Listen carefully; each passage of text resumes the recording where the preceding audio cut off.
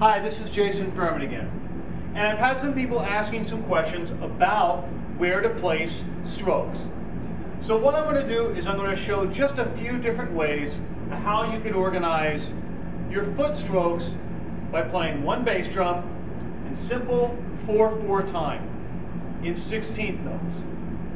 In these groupings of two, if you have two 16th notes together or close, you'll have a pedal stroke and then a downstroke. And that's covering one E, E and, and end up. Two and four being on the snare drum. So we're keeping it not too complex. Here, having a separation by a 16th note with two consecutive eighth notes, those would both be downstrokes. The same thing by shifting that distance over by a 16th, the E and the uh, again, both downstrokes.